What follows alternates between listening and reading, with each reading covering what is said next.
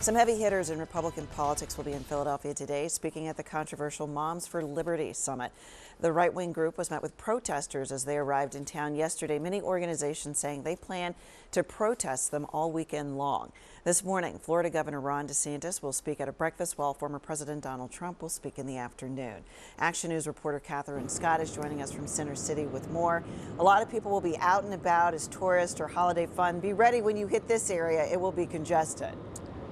It's definitely going to be congested today, Tam. More protests are expected as the Moms for Liberty events continue here in Center City. Leading GOP candidates will attend today, a sign of the impact of this group to the Republican Party.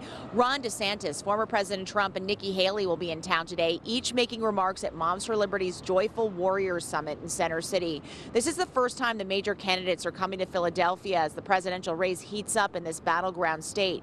Protests were held last night outside the Museum of the American Revolution, where the welcome welcome reception was held. The national organization, which has a number of Pennsylvania chapters, said they advocate they advocate for more parental rights in education. The Southern Poverty Law Center named Moms for Liberty an anti-governmental extremist group. Critics say the group wants discussions of LGBTQ plus rights and racial inequality kept out of the classroom. A thousand mothers are expected to be coming in from across the country for this annual event, which organizers say doubled in size from last year. We're going to celebrate our American values. We are going to empower, educate parents to defend their parental rights. We are defending innocence and integrity of our children.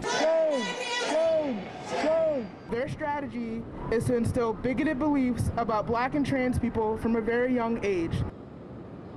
Mayor Kenney released a statement saying while he doesn't agree with Moms for Liberty's message, the city's response will prioritize the safety of participants and members of the public and protect the constitutional rights of all individuals without regard to the views expressed by any group. We are live in Center City. Katherine Scott, Channel 6 Action News. All right, Katherine, thank you for the update.